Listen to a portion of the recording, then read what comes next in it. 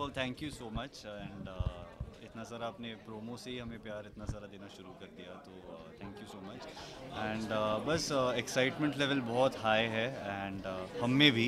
And बस अब अठारह जून से आई होप ऐसे ही uh, आपने जो अभी प्यार आज तक प्यार दिया है वैसे आप हमें हमारे शो को बहुत सारा प्यार देंगे.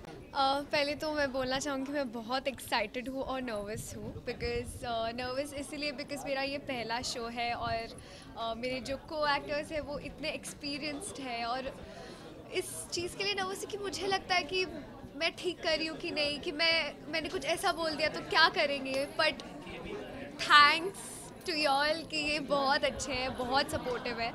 मुझे हर चीज़ के लिए बहुत मोटिवेट करते हैं। और और स्पेशली जब मुझे इस सीरियल के बारे में पता चला था, इसका कॉन्सेप्ट तो मुझे बहुत पसंद आया था और मैंने ठान लिया था कि मुझे ये सीरियल करके ही रहना है। तो मैंने ठाना और फाइनली मैं आ गई इस शो ये शो टोटली अलग है। सभी लोग बोलते हैं क्लीशे स्टेटमेंट है ये, लेकिन मैं दिल से बोल रहा हूँ, ये शो कुछ अलग है सब्जेक्ट अलग है। भले ही आप लोगों ने सैराट देखा होगा, लेकिन एग्जैक्टली exactly सैराट हम नहीं ला रहे। हैं सैराट का एक थर्टी परसेंट हमने लिया है।